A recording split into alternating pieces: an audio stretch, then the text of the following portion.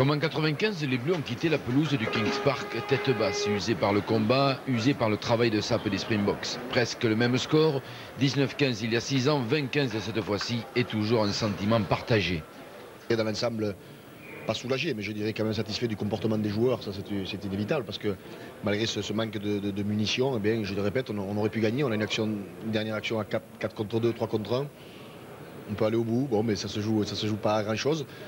C'est vrai que euh, cette équipe de Springbok nous a quand même mis euh, la pression, nous a mis sur le reculoir et s'il avait été peut-être plus, plus sereine, elle aurait marqué un ou deux essais de plus.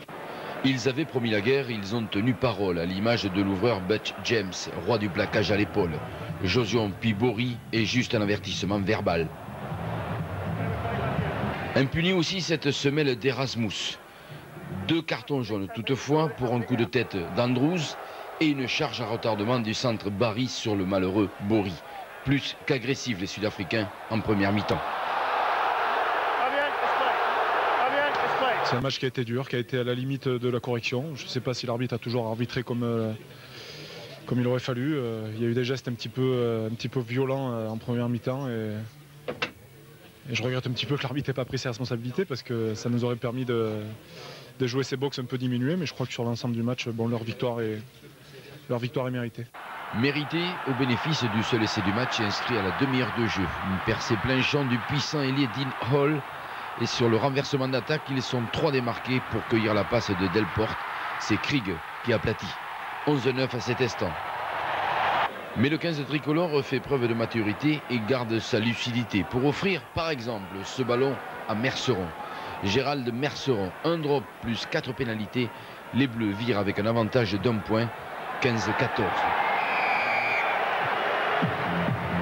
Des Bleus souvent sanctionnés en mêlée, même si ici, ils bénéficient d'une supériorité numérique. Difficile de comprendre. Euh, on ressort frustré chaque fois des matchs. Sur le premier match, on, avait, euh, on était parvenu à les mettre à, la faute et puis on avait récupéré donc quelques ballons sur ces mêlées.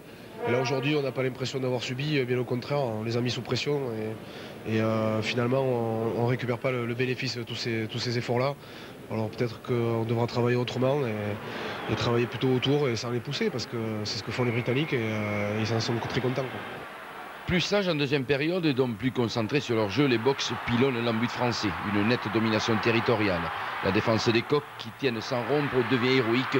Ils préserveront longtemps leur petit point d'avance sans munitions. On n'a fait que défendre. Euh, au niveau de la possession du ballon, euh, on doit être quasiment ridicule. Même au niveau du territoire, euh, cela dit, euh, c'est passé très très près. Et c'est pour ça, je crois qu'on est tous abattus parce qu'on y a cru jusqu'au bout et il y avait la place pour faire quelque chose de très grand. Trois pénalités ratées, mais une confiance retrouvée de Butch James en fin de match scelleront le score à 20-15 avec cette deuxième réussite.